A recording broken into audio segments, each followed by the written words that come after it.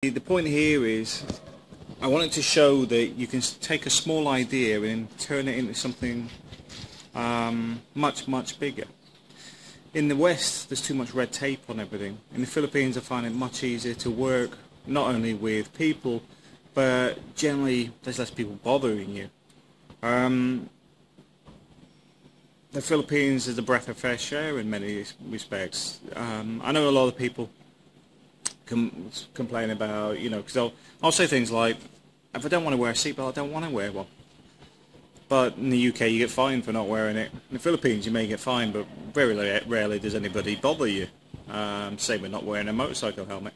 It's generally a bit of common sense in the Philippines. It's up to you a lot of the time. Even though there's laws there, doesn't mean everybody abides by them.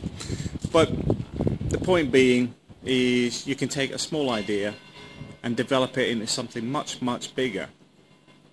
And I know somebody else mentioned today that they felt old. Well, age has got nothing to do with this. There's a lot of guys I know in the Philippines that have started their businesses after retirement in their 60s. There's nothing to stop you doing it. Age is irrelevant. What what you need is what's up here and the drive to do it. Um, if you've got those things in you, and you're keen enough and want to push through with it, you can do it.